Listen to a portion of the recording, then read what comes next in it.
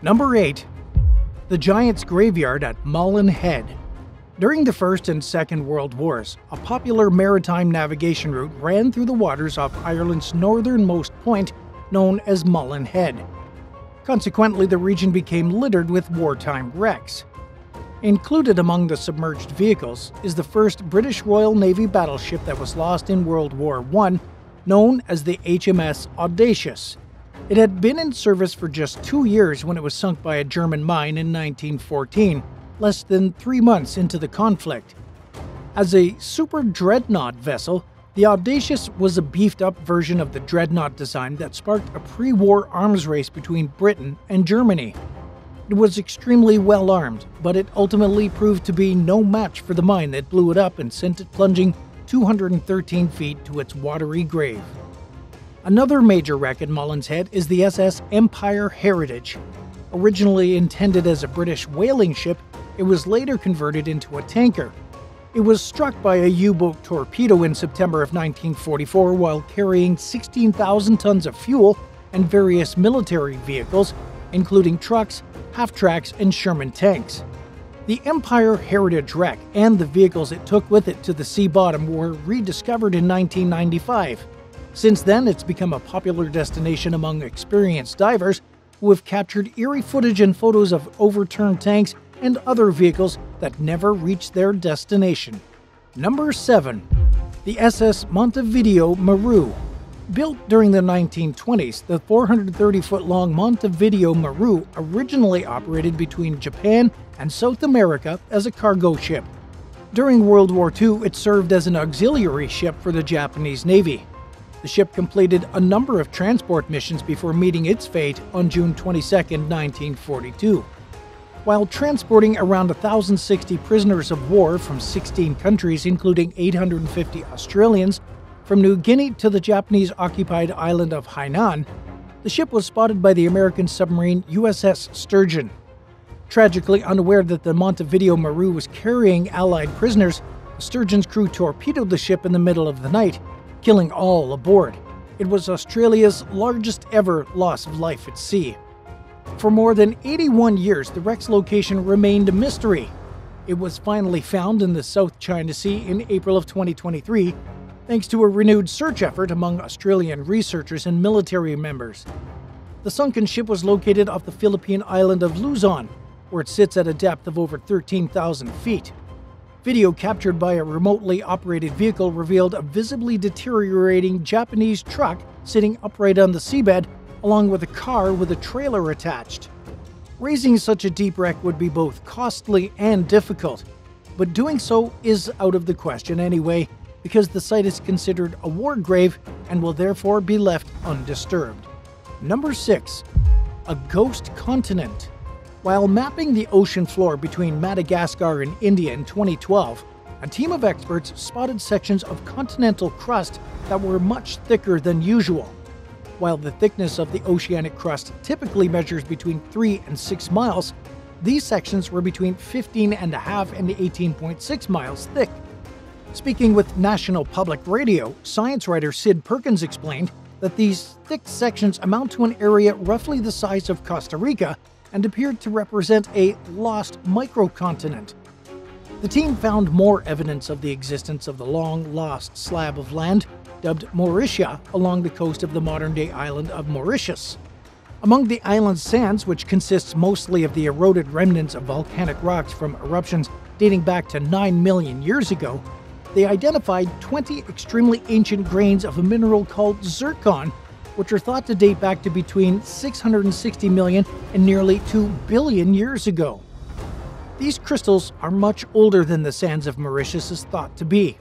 They were found at extremely remote sites, making it unlikely that any sort of human activity brought them there, and their weight largely rules out the likelihood that they were carried by the wind. The zircon granules are thought to be pieces of Mauritia, which scientists believe separated from Madagascar between 61 and 83.5 million years ago. The lost microcontinent became fragmented and dispersed, and the pieces were buried by volcanic material, which formed modern day Mauritius. Some scientists believe that submerged microcontinents aren't uncommon, but common knowledge of them is limited. Discoveries like this are helping to shape our understanding of how modern continents formed following the breakup of the supercontinent Gondwana. Number 5. Mysterious Florida Shipwreck. During the fall of 2022, Hurricanes Ian and Nicole washed between 4 and 8 feet of sand elevation out from Florida's eastern coast in Volusia County. The coastal erosion revealed what archaeologists believe is a 25 to 30 foot shipwreck in the waters off Daytona Beach. Experts believe it may date as far back as the 1800s. While it was long known that there was some type of debris at the site, this was the first time enough of it was exposed for the material to be identifiable as a possible shipwreck. Aerial drone footage revealed what appeared to be the ship's hull. It's the second potential wreck to be discovered in the area since the hurricanes. Archaeologists announced plans to investigate the site in April 2023, cautioning that they had yet to confirm it as a shipwreck. The public was warned to steer clear of the site in case metal or other dangerous materials are present. In the meantime, researchers have yet to release their findings. If you discovered a shallow shipwreck, would you immediately back off and notify authorities, or would you poke around for a little while, knowing it may be your only opportunity to see it up close before it becomes off limits to the public? Let us know in the comments below, but hit that subscribe button first. At number 4, a giant waterfall. While more just south of the equator between South America and Africa in 2015, scientists aboard a research vessel discovered a turbulent current rushing through a 15,000 foot deep underwater canyon. The team counted more than 250 massive consecutive waves similar to the surfers' waves that grow in size as they approach the beach. The succession represented the longest train of waves of its kind, known as Kelvin Helmholtz waves, ever discovered in the area. Oceanographer and study lead Hans von Haren told Live Science that despite their enormity, the underwater waves generate little more than a slight ripple on the water surface. In other words, without scientific equipment, the team would have never had any clue about the level of activity that was occurring beneath them. The fast flowing water passes through a narrow formation known as the Romanche Trench. It's one of the only known underwater passes that block deep ocean currents that flow along the floor of the Atlantic. Freezing water from the Antarctic travels northward through the canyon and comes into contact with warmer water that flows above. The speed and temperature differences between the two cause intensified activity, generating 10 times the flow of the Amazon River. In the section of the trench that Van Haren and his colleagues explored, a stream of water measuring 33 degrees Fahrenheit flows through a 4 mile wide gap it's just one of three known conduits through which Antarctic bottom water crosses the equator. The unbroken sequence of 250 waves that the team observed ranged in size from 16 to 328 feet. Number 3. Suddenly submerged infrastructure. Located in California's San Joaquin Valley, Tulare Lake was once America's largest freshwater body west of the Mississippi River. It was typical for the lake to expand in size every winter due to rain and snowmelt from the nearby Sierra Nevada mountain range and to shrink during the summer. During especially wet years, it grew to encompass an area as large as 690 square miles, which would put modern day towns like Corcoran and Stratford 25 feet below water. Tulare gradually went dry starting in the 1860s due to the construction of dams, levees, canals, and other projects that diverted the rivers that normally fed the lake to other locations. For the most part, the lake bed has been completely dry for at least a century, minus a handful of occasions when excessive rain and snowmelt caused it to briefly reappear. Until now, the most recent example of this happening came in 1983, in which case it took two years for the lake to dry out. Throughout the first three months of 2023, after more than 20 years of record breaking drought, the region experienced unusually high amounts of rain and snowmelt, along with two atmospheric rivers that transported even more moisture to the area. Tulare Lake filled once again, submerging vast tracts of farmland, roads, and parts of towns. Between the month of March and April, the replenished body of water began to encroach upon Corcoran, flooding numerous homes and forcing many of the city's 22,000 residents to evacuate. Residents in the towns of Allensworth and Alpaugh also received evacuation orders as the rising waters threatened to make surrounding roads impossible. Around 75,000 dairy cows have been relocated, but there's little that farmers can do to save their submerged crops. Scientists speculate that the flooding will continue as snow melts from the Sierra Nevadas. For now, Tulare Lake continues to grow bigger each day. According to an update from late April of 2023, utility crews are racing against the clock as they use helicopters to remove transformers and other vital pieces of infrastructure that have become submerged, as well as equipment that is under threat of flooding. Do you live in California or another region that's experiencing unusually severe flooding this year? How has it affected your life? Let us know in the comments below, but first, be sure to subscribe. Number 2. Two century-old shipwrecks. On November 18, 1914, a trio of ships encountered a brutal storm on Lake Superior and sank, killing all 28 crew members aboard.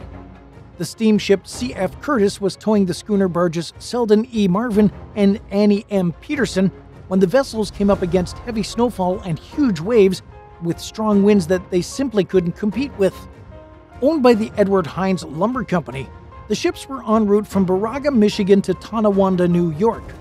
They represented nearly a quarter of the company's fleet, so when they went down in the storm, it came as a significant loss to the business.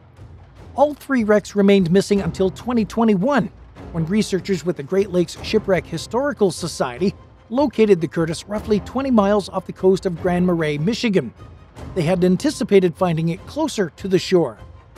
In 2022, the team found the Marvin just a few miles away from the Curtis at a depth of about 600 feet. Both wrecks are remarkably preserved owing to the dark, frigid waters they came to rest in, which are largely devoid of plants and animals. The ships show signs of damage that suggested they may have collided. A remotely operated vehicle captured fascinating images of the wrecks, including the lumber and equipment they were carrying when they sank, as well as what appeared to be some clothing. While the wreck of the Peterson remains missing, maritime historian Ric Mixter said that the discoveries of the Curtis and the Marvin solved a chapter in the nation's darkest day in lumber history. Number 1. A missing piece of crust. In 2007, scientists revealed that there's an unexplained hole in the Earth's crust spanning several thousand square kilometers in the Atlantic Ocean. It's located on the mid Atlantic ridge between the Caribbean and the Cape Verde Islands, where the Eurasian and American continental plates drift apart, creating a volcanic rift. The submerged open wound isn't necessarily unique. There are others like it found elsewhere throughout the world, but its size makes it the most significant example of a phenomenon that has yet to be fully understood by experts. Simply put, oceanic crust typically measures between 3.7 and 4.3 miles thick. When tectonic plates separate, the mantle rises to the surface and fills in the newly created space with magma. This is essentially the crust's way of repairing itself. Yet this process is not happening in places where entire pieces of crust are missing. As a result, these holes are filled in with a rock called serpentinite, which forms when seawater comes into contact with the Earth's mantle. The presence of serpentinite essentially indicates that the mantle didn't melt like it should have, which would have allowed magma to fill in the hole. Researchers aren't exactly sure what caused this to happen, but one school of thought suggests that traumatic events, in other words, things that don't normally happen, tore away entire sections of crusts after they formed, Another theory proposes that the missing pieces of crust never formed in the first place. Senior research scientist Bramley Murton admitted ahead of a planned voyage to study the missing section of crust in the mid Atlantic ridge that experts understand very little about the phenomenon, which defied everything they previously knew about tectonic plate evolution. The expedition took place in 2007, but it appears as though the jury is still out when it comes to explaining the dynamics behind this and other missing sections of deep sea oceanic crust. Thanks for watching. What types of discoveries would you like to learn about in a future video? Let us know in the comments below, and be sure to subscribe so you don't miss the next exciting installment. Bye for now.